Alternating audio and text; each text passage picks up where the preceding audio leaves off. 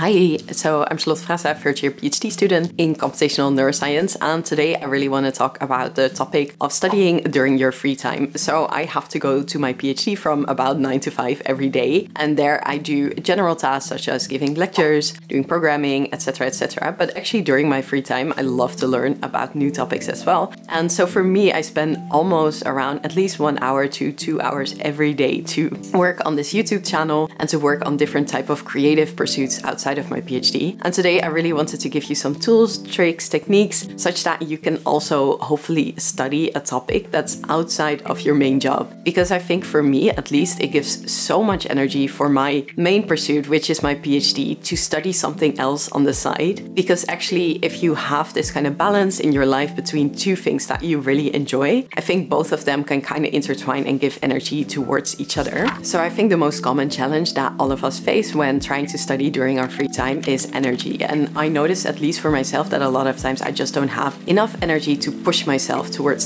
studying. And this is really a bottleneck. So usually I do have, for example, one or two hours in the evening that I could spend on studying or learning a new topic. But when I try to push myself towards that, I notice that it's actually really hard to get myself motivated. So today I want to give you some tricks that I've learned over the years to kind of get over this first hump and to kind of get into the flow of studying some topics that do actually give me energy once I'm finally studying them. So the first tip I want to give is to optimize for your curiosity type. So one of the books I'm reading lately is Curious Minds and that's by Perry Zurn and Dani Bassett. And Dani Bassett is actually this professor in computational neuroscience and I really like the work that they are doing. So if you are interested, I would definitely recommend looking up their work as well. But they talk about three types of curiosity that people usually have or that people usually follow when looking at curiosity. So the first type they argue is the busybody. So the busybody makes it their business to know about everything and anything.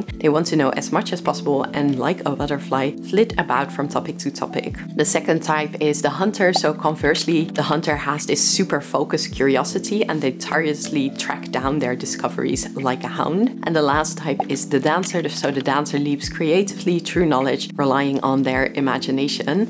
And and in the book, they dive way deep into these three different archetypes within curiosity. And they also say these archetypes are not necessarily fixed within any one person. So it could be that you're one day a little bit more a busybody or a hunter, and the next day a little bit more a dancer. But I do think most of us have a preferred style. And I know for me, I'm very much the dancer type, I would say. It's more that I like to flit from topic to topic and kind of combine them together in a creative way. But when I really deep dive into a topic, I usually get bored quite fast. So I like more the beginning of a learning process, like seeing how I can combine different topics and really thinking about how I could creatively link these two. Whereas I know, for example, I think my professor is a little bit more a hunter and he really clamps down on one question and then searches for the answer of that question for days. And I think if you think about your curiosity type and you try to think in your life how you can actually lean into that type instead of trying to force yourself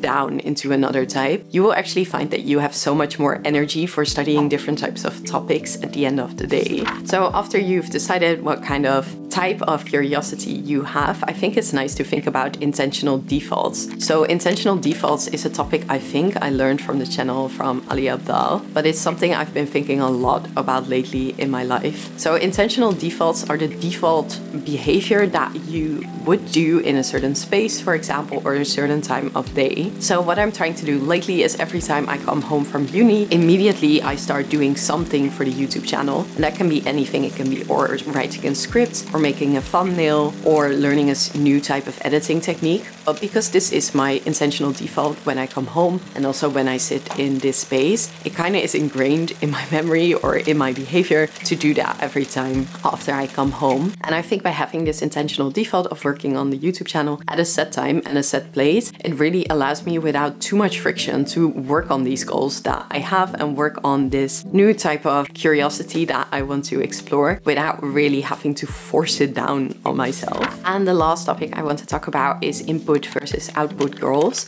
So output goals are the goals that most of us think of when we think of goals. So for example, for self-studying, it would be something like I will know how to edit or I will make a perfect YouTube video or I know how to do all, I will get an A on my exam for mathematics. Whereas like input goals are actually the input you put into your goals. So it's for example, every day I try to work on the YouTube channel for one hour. And I think when I think of goals, input goals are a lot easier to optimize for in that sense, also to get some kind of reward from. So when I look throughout my life, I usually try to focus on input goals and not so much output goals. Because output goals per definition are kind of outside of our locus of control, whereas input goals are really what we can ourselves put into a certain topic. So yeah, these were just three really short tips that I wanted to give you and I mostly want to push you towards reading this book because I'm highly enjoying it. And if you know your curiosity type, I would actually be curious to know what it is. So put it down in the comments below and otherwise see you next week. Bye.